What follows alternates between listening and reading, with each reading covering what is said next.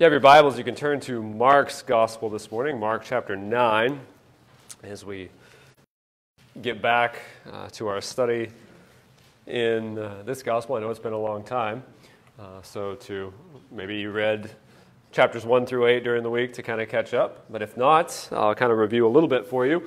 And while you're turning there, the purpose uh, of uh, this Gospel is to basically show people who Jesus Christ is. Uh, Mark uh, shows us in this gospel that Christ is the sovereign king, that he's the one, uh, the sovereign servant who came to earth with that selfless servant's attitude in order to sacrifice his life for all who would believe. And he writes specifically to a church that was living in a hostile culture. Uh, he writes uh, to show them, in order to encourage them, he shows them who Jesus is. They were facing persecution, they were facing problems, and they needed encouragement in their lives. Uh, and so, in order to encourage them in their pursuit of following Jesus Christ, he writes them, hey, he's worth following. Look, this is who he is. Uh, and, and, this book centers around two major themes Jesus, uh, Christology, uh, and discipleship, because the two truths go hand in hand. Uh, the more we see Jesus, the more we get to know him, the more we learn about him, uh, the more faithfully we follow him. And we see those two truths at play in our passage of Scripture this morning. Knowing Jesus Christ fully and seeing him to following him faithfully. Now, when we paused this series back at the beginning of the summer, we saw that Jesus has just given sight to the blind. Uh, and with that miracle, the spiritual blinders have kind of come off the eyes of the disciples. And now everything is kind of clicked for them, and they finally confess that Jesus is the Christ, that he is the Son of God. He is the Messiah that they've been waiting for. And the first half of the gospel had really been building uh, to that moment.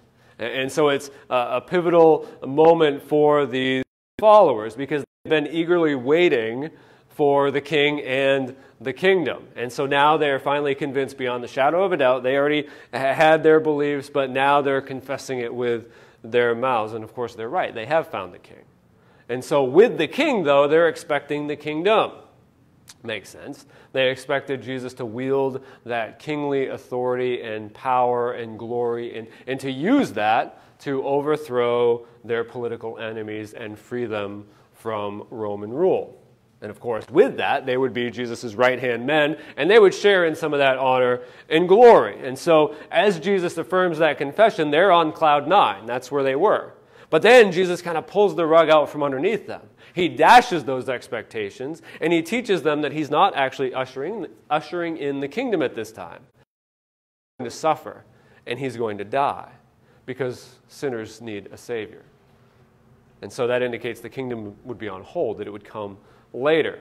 And so the plan was for the cross and then the crown, suffering and then the glory. And you remember Peter took offense to this, right? Uh, he's like, you know, not so. This, this can't happen, not on my watch. And Jesus says, Get behind me, Satan. Right? That's what Jesus said. He, he, gets, he rebukes Peter for this. And then Jesus kind of piles on a little bit afterwards. And he says, Well, not only he going to suffer and die, but his followers must be ready to do the same. He tells them that there's a high cost to following Jesus Christ, and that's at the end of chapter 8. He says it requires more than a great confession, it requires a great commitment. Following Jesus requires a great commitment. And this was difficult for these men to, fo- to swallow because this can't be. Jesus is Lord, He's the King, He's here. He should be exalted, not humiliated, not killed. We shouldn't have to worry about suffering and death, right? We, this, this should not be Jesus. And so this was supposed to be their moment of triumph and victory. And so instead, they're left with some disappointment and some confusion. And, and so at the end of chapter 8, Jesus gives them some motivation for following him. He says, The eternal gain and glory that comes from following him is going to far outweigh any suffering and loss that they would face in this world. And that's what he says. He says, Follow me in my plan because no matter what, it will be worth it. You will see and you will experience glory that is unspeakable and unthinkable. And then he goes on in our text today to give them a glimpse of that glory that they would see and experience when he returns to establish his kingdom. So let's look at Mark chapter 9, verses 1 through 13 together this morning. And he said unto them, Verily I say unto you, that there be some of them that stand here which shall not taste of death until they have seen the kingdom of God come with power. And after six days, Jesus taketh with him Peter and James and John, and leadeth them up into a high mountain apart by themselves, and he was transfigured before them. And his raiment became shining, exceeding white as snow, so as no fuller on earth can white them. And there appeared unto them Elijah with Moses, and they were talking with Jesus. And Peter answered and said to Jesus, Master, it is good for us to be here. Let us make three tabernacles, one for you, one for Moses, and one for Elijah. For he didn't know what to say, for they were sore afraid. And there was a cloud that overshadowed them, and a voice came out of the cloud saying, This is my beloved Son, hear him. And suddenly, when they had looked around about, they saw no man anymore save Jesus only with themselves. And as they came down from the mountain, he charged them that they should tell no man what things they had seen till the Son of Man was risen from the dead.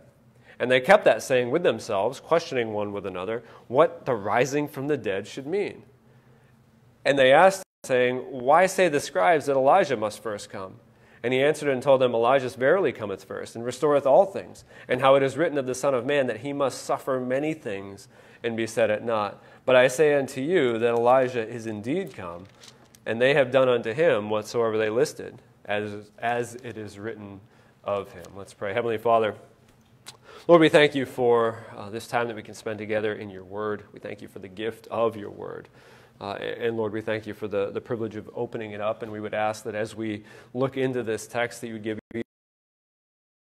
see and, and ears uh, to hear, that you would open up our hearts to understand what you would have us to see, know, and learn uh, from this passage so that ultimately we would follow you faithfully. Uh, give each one of us the grace that we need and the ability that we need uh, to, to know and understand and, and apply what you have before us. We pray all this in Jesus' name. Amen.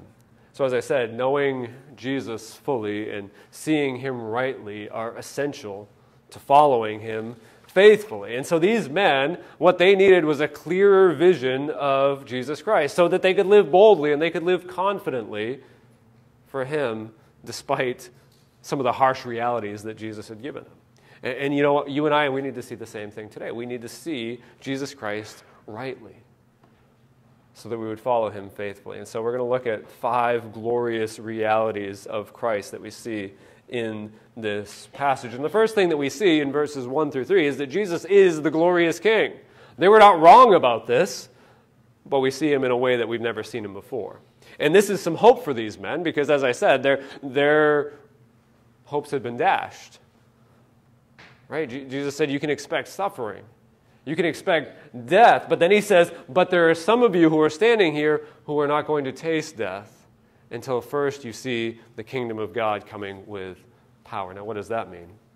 Well, Jesus is not saying that, well, I'm going to establish the kingdom now because clearly that didn't happen, right? I mean, these men died, the kingdom hasn't been established, and Jesus is not ruling and reigning on the throne of David at this point.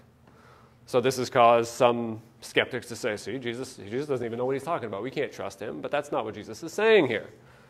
Now, what is he saying? Well, the word kingdom is kind of one of the keys to our understanding here. And that's sometimes used to describe something that's associated with the kingdom. Kind of like how sometimes we use Washington to describe uh, the Federal Reserve or, or, the federal government, I mean. Uh, we might say Washington did this or, or Washington uh, said that. No, Washington didn't. Government did, or the government decided to do, to do this. And that's kind of how uh, the word kingdom was used. It would speak, it would speak of royal majesty, splendor. Splend, yeah, splendor. I want to make sure I didn't say splenda.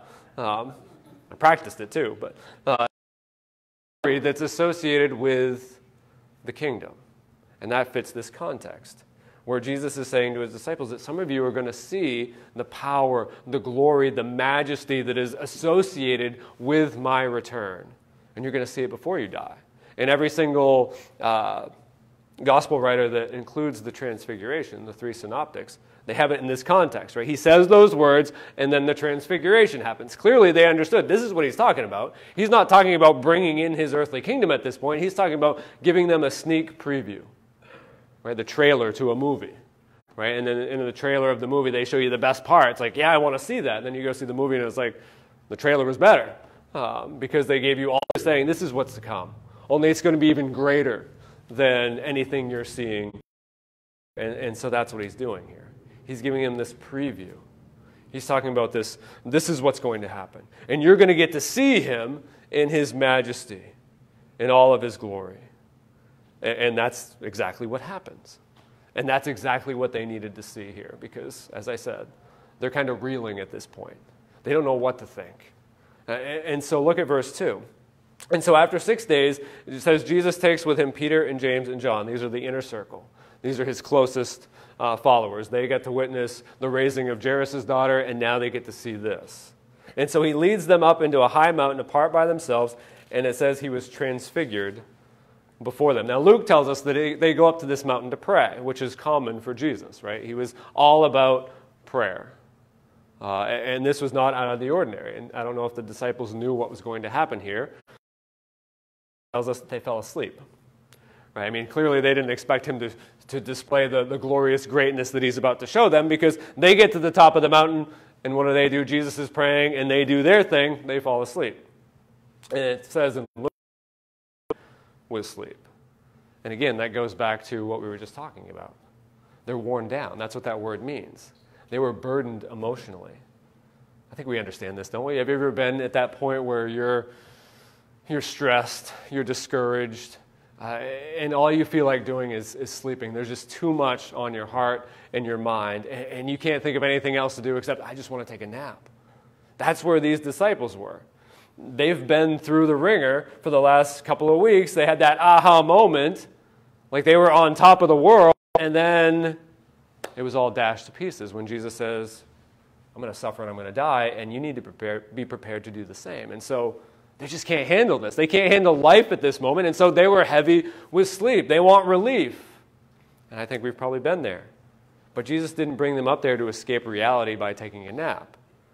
He brought them up there so they could witness his glory, because that's what they need more than a nap. They need to see the glory of Jesus Christ so that their hearts and their minds could be changed, so that they could be energized, so that they could be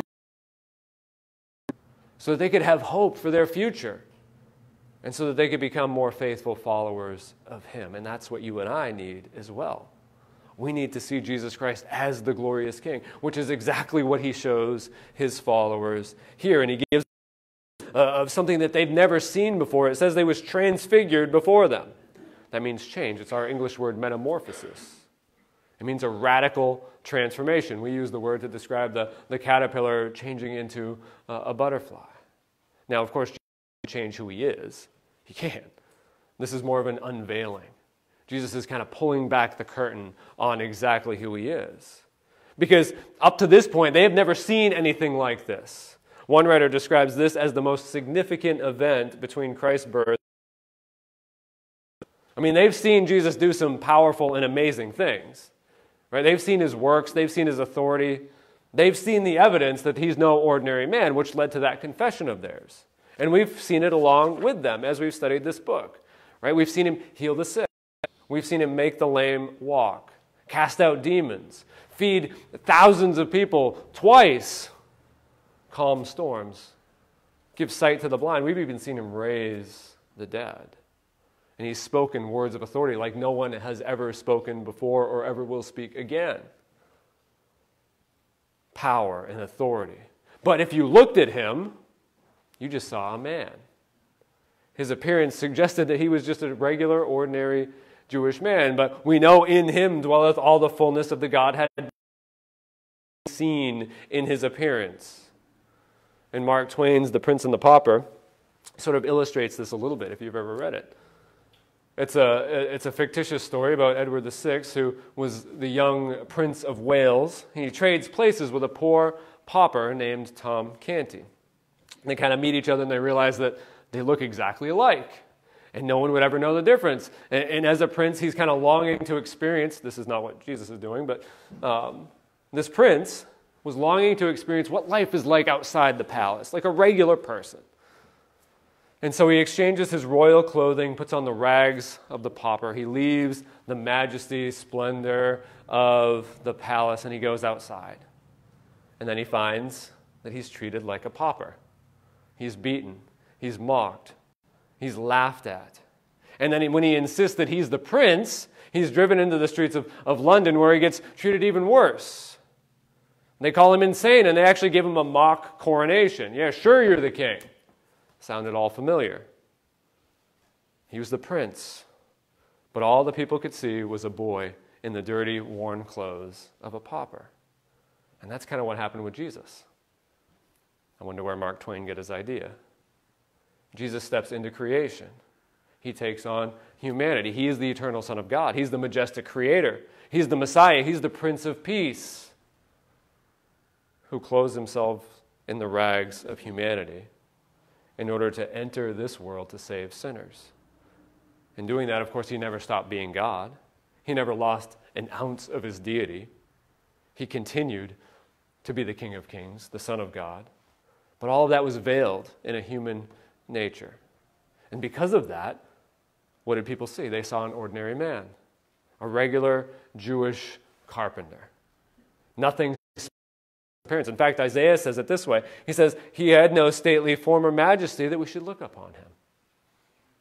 Even the people closest to him saw an ordinary individual, a regular member of society. His neighbors saw him as the carpenter's son. We know, we know the family. He's just one of them. His brothers thought he was crazy because he just didn't look like God despite his power, despite his authority. He didn't look like a king. So why would we treat him like a king? To look at him, you would not know that this was God incarnate. Just looks like my neighbor. And he was treated that way. He was mocked, he was ridiculed. People were offended by his claims, they hated him. But we know that Jesus is so much more than that. We read in Hebrews 1 3 that he is the radiance of the glory of God. But no one on earth had ever seen him this way because he graciously veiled that glory in Bethlehem by taking on that perfect humanity. And just to think, if he didn't veil that glory, anybody who came into contact with him would have been consumed. We can't stand in the fullness of the glory of God. And so here Jesus pulls back the curtain for these, for these three men, for his inner circle, so that they could see what nobody has ever seen before. And he allows them to see it without being consumed. And this, this incident is, is so similar to what we read in Exodus chapter 24. In verses 13 and following, Moses rises up with, with Joshua. Moses went up into the mountain of God. And then it says he went up on that mountain, the cloud covered the mountain, and the glory of the Lord dwelt on Mount Sinai, and the cloud covered it six days. To Moses out of the midst of the cloud, and now the appearance of the glory of the Lord was like a devouring fire on top of that mountain in the sight of the people of Israel. And here is something very similar. We see the glorious brightness description that Mark gives. He, he does the best he can here, but he can't really fully describe it because who can? In, in, in verse 3, it says, His raiment became shining, exceeding white as snow, so as no fuller on earth can white them. That's it. Uh, don't you wish he, he kind of elaborated a little bit more? Give me more here. I, I want more. So, you know, I looked, I did want more, so I looked at Matthew's account and Luke's account. There's a very similar. Matthew says he was transfigured before them, and his face did shine as the sun, and his raiment was white as the light. And Luke says, and as he prayed, the fashion of his countenance was altered, and his raiment was white and glistering. Again, very similar, but not enough details. But how do you describe something like this? Say is we have indescribable glory here. They can't even put it into words more than this. In the Old Testament, we see uh, that God displays himself as light. And that's what Jesus is doing. The Shekinah glory is, is here. It's radiant, it's overwhelming, and it's indescribable. It's hard to put it into words. It's how do you describe the brightness of the sun? I don't suggest you do it, but you can go outside and you can look at the, at the sun and then come back and, and describe it. What do you see? No, I don't see anything now because I just looked at the sun. It's intense. It's hard to look at. In fact, when we were out there singing on that white paper, I came in and I couldn't see a thing. And that's kind of what they have here. This is so bright. And, and, and so Mark tries. He says his, his raiment was shining, it was white as snow, whiter than snow. And that's, that's pretty white. I can't imagine brighter than that. I mean, we painted our, our deck white at first, and then we decided that's not a good idea because the sun would beat on it, and you look out the window and you went blind. I, I feel like that's kind of what they're seeing here. And, and then he says, uh, it's so white that even the, the dry cleaner couldn't get them this white. That's what a fuller is. It's somebody who bleached clothes. You watch baseball or, or football and have those white uniforms and white, and you're like, what do they use? I mean, I don't say that, but Valerie said that. it's like, how do they get them so white? Well, Mark's saying Jesus' raiments, they were whiter than this. No dry cleaner, not even Tide, not even bleach could get them this white. And so this is at this moment. He's bursting forth with this blazing glory. And they've never seen anything like this. Nobody has seen anything like this. I mean, they've seen Jesus do some amazing things, but they've never seen anything like what they see right now. Luke 9:32 adds, they saw his glory. That's what they saw. They're witnessing the glory of Jesus Christ. The Apostle John, who doesn't actually describe this event, he says in, in John 1.14, speaking of this, I'm sure, he says, The Word was made flesh and dwelt among us. And then he says, We beheld his glory. The glory as of the only begotten of the Father, full of grace and truth. We saw it, he says. We saw his glory. The go- glory of God is the reality that he is greater. He is more valuable, more majestic, more glorious than anything we could ever conceive of. And these men are given a glimpse of that glory. They're seeing that He is the God who dwells in unapproachable light. In Psalm 104, verses 1 and 2, it says, Bless the Lord, O my soul. O Lord my God, you are very great. You are clothed with splendor and majesty, covering yourself with light as with a garment, stretching out the heavens like a tent. And that's what they're seeing here. That's what they're seeing, that, that this is who they see Jesus as now, the glorious King clothed with majesty, clothed with light. And as I said, Jesus has always had this glory, but it has been veiled to the world until this point. And he only unveils it to this select few in this moment so that they can see him rightly because they needed to see this. If they were going to follow boldly, confidently, and, and faithfully to their own deaths, they needed to see the glory of Jesus Christ, and he gives it to them because Jesus Christ is the glorious King. And then we go on, we see not only is he the glorious King, but he's greater than the law and the prophets. In verse 4, there appeared unto them Elijah with Moses, and they were talking with Jesus. Now, all of a sudden, we see that Jesus is not alone on this mountain with his three disciples. Now, how these men knew and Moses is beyond me. That's a good question. I guess you can ask them when we, when we get to heaven. How did you know? Maybe we'll know. Maybe we get there. Oh, that's how they knew.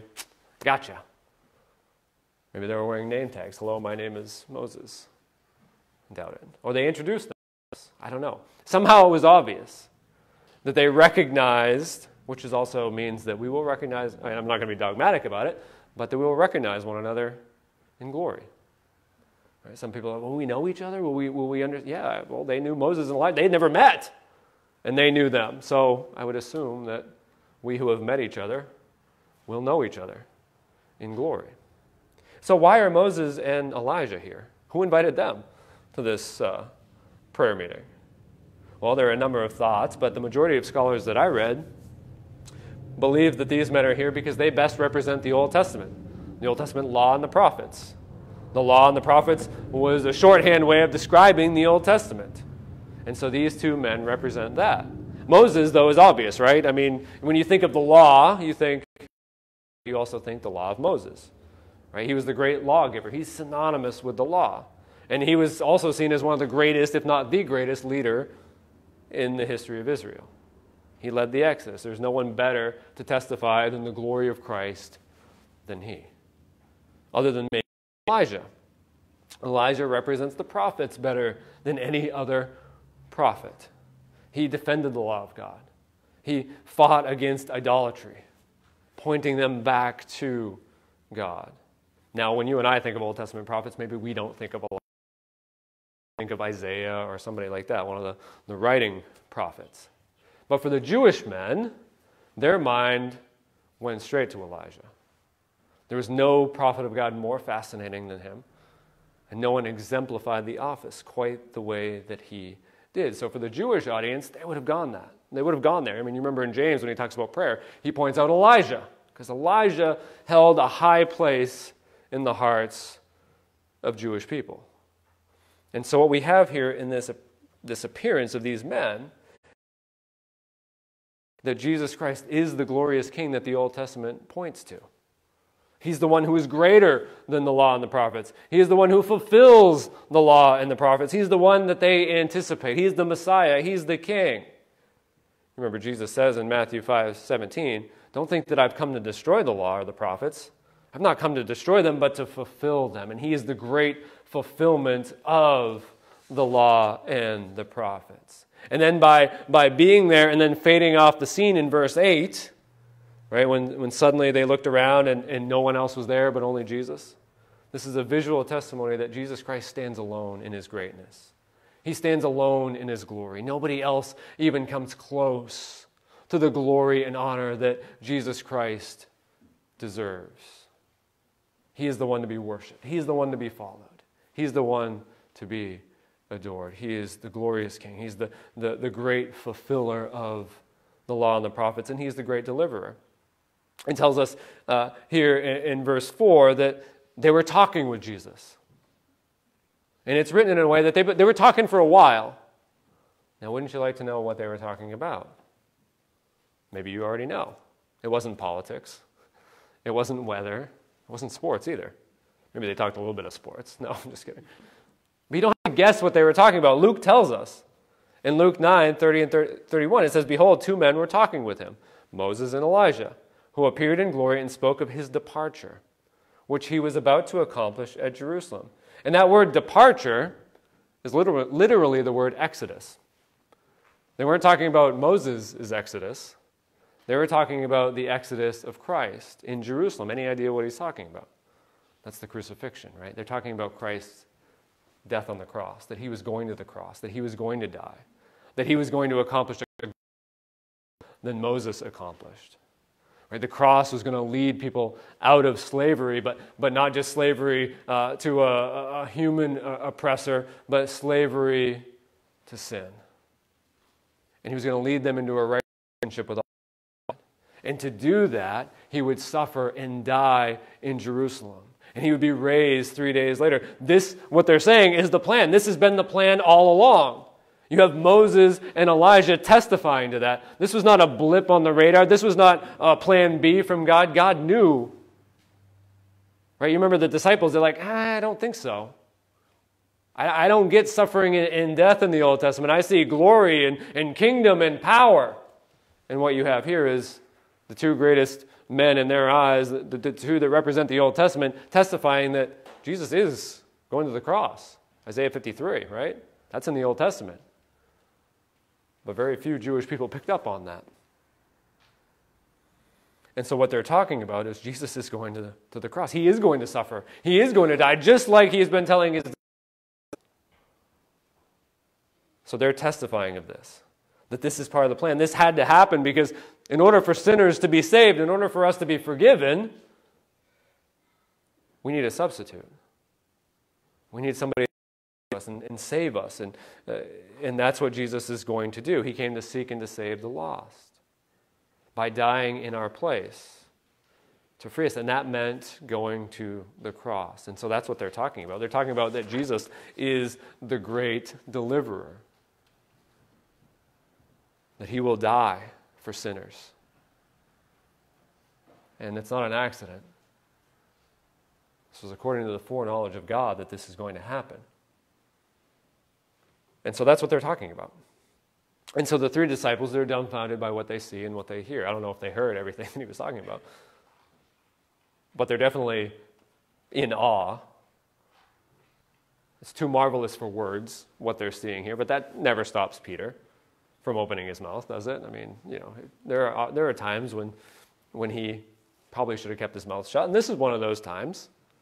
But that never stops Peter. So it says in verse 5 Peter answered and said to Jesus, Master, it's good for us to be here. You think? You, you think so, Peter? Yeah, it's good for you to be here. Maybe he should have stopped there. And so then he says, uh, Let us make three tabernacles one for thee, one for Moses, one for Elias. For he didn't know what to say, for they were sore afraid. And so Peter speaks because he's in awe.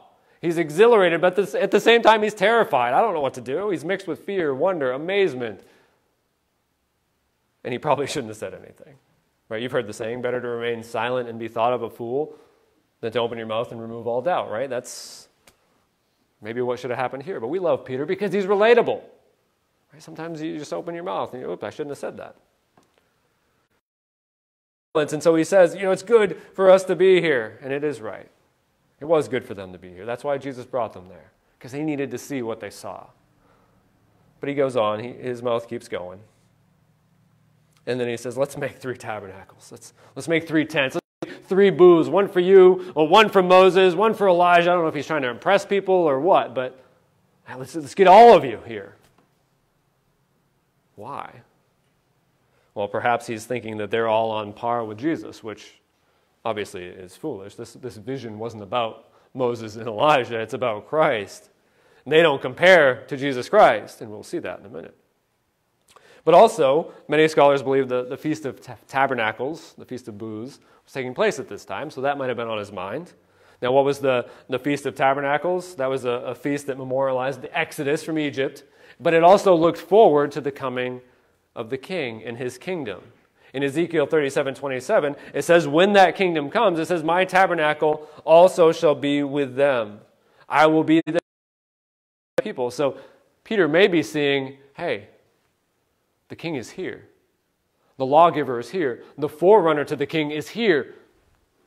Let's do this now. Let's, let's set the kingdom up right now.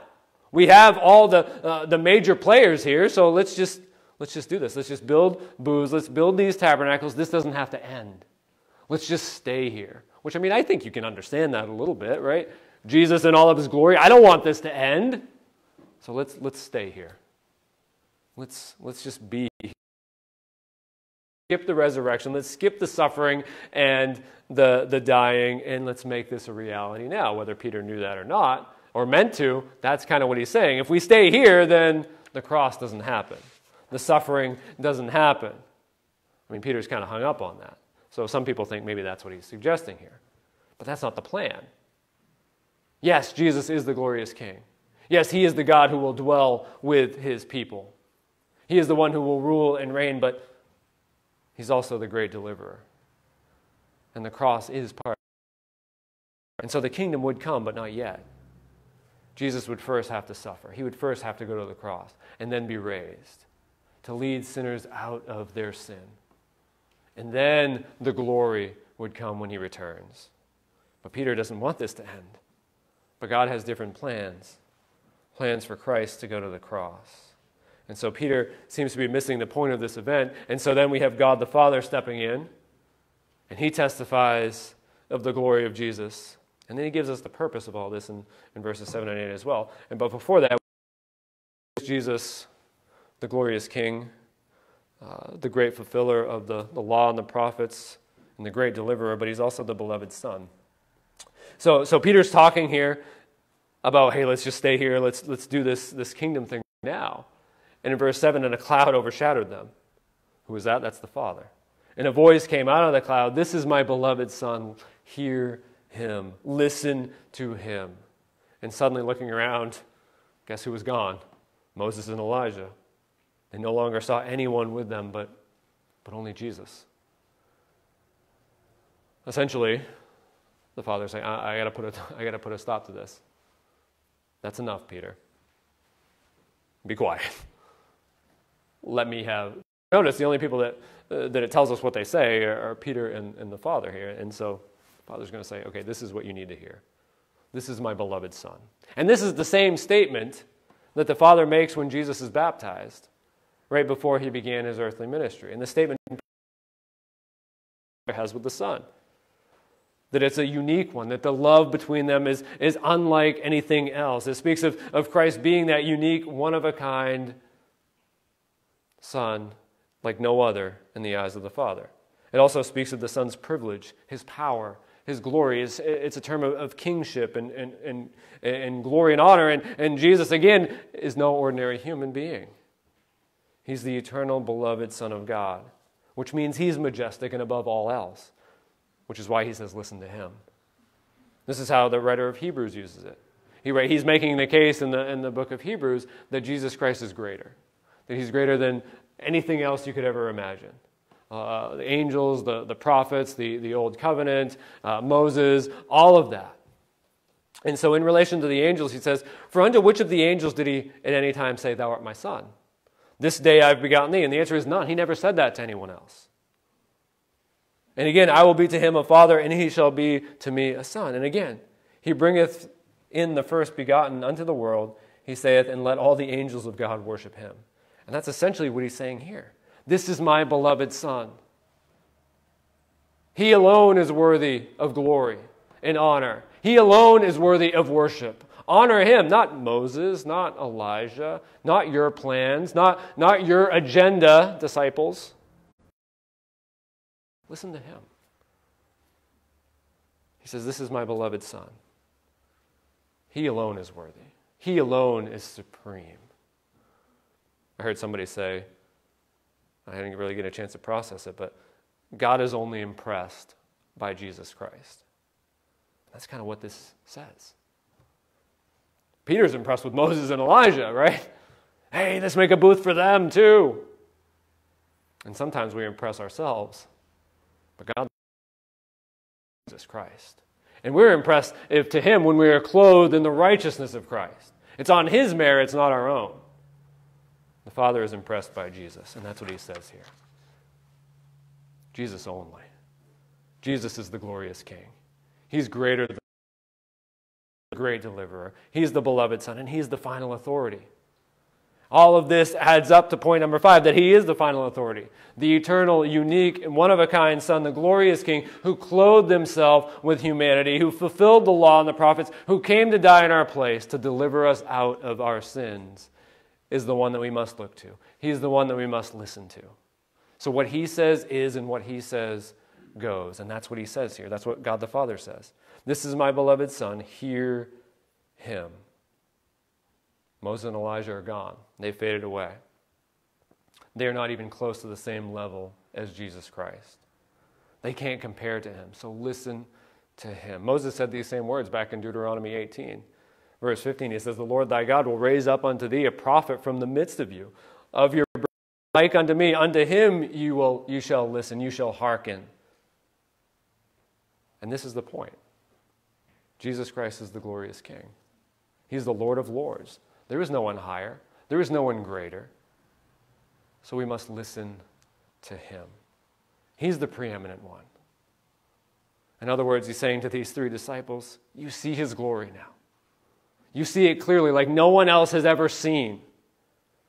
Now it is time to listen to him. It's time to obey him. And that's what that word means hear him. It's not just hearing the words and then going and doing my, doing my own thing like sometimes we do. Okay, that's the Bible, that's what it says, but I'm still going to do it my way because I don't like this or it's hard to submit.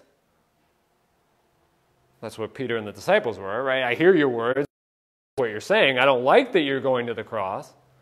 He says, No, this is Jesus, you listen to him. I don't care what he says, you listen to him. And that's what he's giving his disciples here. And that's what he's giving us. We look to Jesus Christ and we submit to Jesus Christ. And this is how Peter applies it in his, his letter in 2 Peter. In, verses, uh, in chapter 1, verses 16 through 21, we listen to the word of God. He says, For we have not followed cunningly devised fables. And he's talking about this event when we made known unto you the power and coming of our Lord Jesus Christ. But we were eyewitnesses of his majesty. We saw it on that mountain. Right? We saw the glory with our own eyes, he says. We, and he says, We heard the testimony of the Father. He says, We received, in verse 17, from the God the Father, honor and glory when there came such a voice. Him from that excellent glory. This is my beloved Son, in whom I am well pleased. And he says, And this is the voice which came from heaven we heard and we were there with him in that holy mount. And then he goes on and he says something incredible, which this is for a different sermon, but he says, We now have something more reliable. More reliable than experience, he says. Even though we've experienced this, this, this incredible moment on the Mount of Transfiguration, we have something more trustworthy in the scriptures. And he says, don't take our word for it, take God's word for it. Look to the scriptures. He says, we have a more sure word in verse 19, whereunto he says, you do well that you take heed. Same application. These men saw the glory of God, the glory of Jesus Christ on that mountain. We see the glory of God, the glory of Jesus Christ in this book. Right? We may say, oh man, it must have been great to be on that mountain. Well, Peter says we have something more sure right here, right at our fingertips. Do we open it up? Do we act like the disciples on that mountain? Are we in awe by Jesus Christ as he pictures himself for us in this book? No, I don't think we are. Like, oh, I got a Bible, but I never read it. Why? The glory of God is in this book. His words are right here. We don't have to go looking for an experience. Peter says, You have a more sure word. And yet we scroll to Facebook, uh, we watch the TV, the social media, we get more of our information from that than God's word. We have God's glory. Shame on us for not looking at it. You know, I wish I could get something new from God. Well, master this first. That's what God wants from you and me. He wants to see His glory, He wants us to obey His word. He wants us to submit to this. He says, It is the Word of God. It's only in the Scriptures that we are going to see the revealed glory of Jesus Christ. And so he says, This is the revelation of my Son. Listen to him. So he says, Listen to him when he says, Whoever will come after me, let him deny himself and take up his cross and follow me. Listen to him when he says that. Not, well, I don't like that. Listen to him when he says, I am the way, the truth. No one comes to the Father but by me. Listen to him when he says that. Salvation is by him alone. Listen to him when he says, Don't be anxious about your life. Yeah, but who's going to take care of me? God is. Listen to him when he says, Store up your treasures in heaven. When he says, Love God with all of your heart, soul, strength, and mind. When he says, Love your neighbor as yourself. When he says, Love your enemy. When he says, Let your light shine. Listen to him. Obey him. That's what this text is telling us. Listen to him when he says, make disciples. Well, that's for somebody else. No, he says, all of his followers, listen to him. Listen to him when he says, you are loved, when he says, you are forgiven, when he says, you are his child. Listen to him when he says, there is therefore no, now no condemnation to those who are in Christ Jesus. Listen to him and believe it. Look to him and listen to him. I've heard it said that we often treat Jesus like British monarchy. He's the Lord.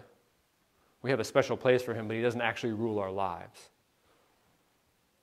We give him lip service, but we don't submit to his authority.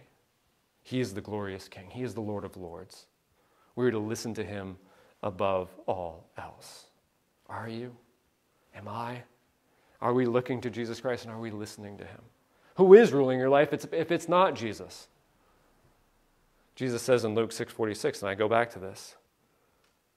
Why do you call me Lord, Lord, but you don't do the things that I say? Is that the question that Jesus is asking you this morning? Who are you listening to? Who are you submitting to? Who are you obeying? And who will you follow? Who will you submit to this week? Your feelings, the news, your friends, your coworkers, or will it be Jesus Christ? God says, This is my beloved Son. This is the glorious King. Listen to him. We need to see him as he is, know him rightly so that we will follow him faithfully. Let's pray. Heavenly Father, we thank you for this day. We thank you for your word. We thank you that you've given us a more sure word in Scripture. Lord, we can look at this, this event in the life of, of these three men and we can say, oh man, I, I would love to have been there. But in your word, you tell us that we have something more sure than even that event. In your word. Father, help us to help us to understand that. Help us to look to your word with the desire to see your glory. But not just to, to stay there and look to that glory, but, but help us then live out the words that you command to us so that we would reflect that glory. so that people would look at us and they would say, well, what's different about them? Why are they so loving? Why are they so joyful? And then we could give the reason. Father, help us with this. Help us to look to you and listen to you and submit to you above all else so that you would receive all glory and all honor because you deserve it. You are worthy of all of that. Father, I ask that you dismiss us with your grace and your blessing uh, today. We ask it in Jesus' name. Amen.